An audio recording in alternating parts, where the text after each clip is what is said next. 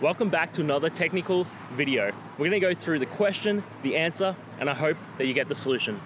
Guys, I hope you stay crazy just a little bit like me and work your way through to getting to that end resolution.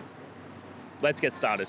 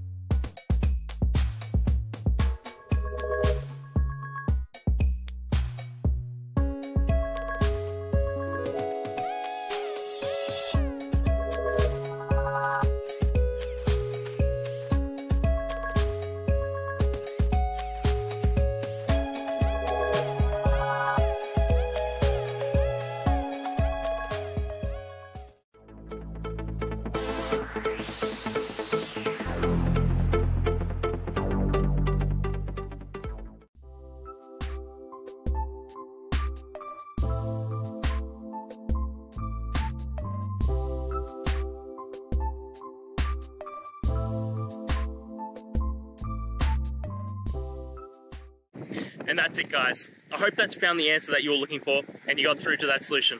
If you did, please hit the subscribe button. I'd really appreciate it.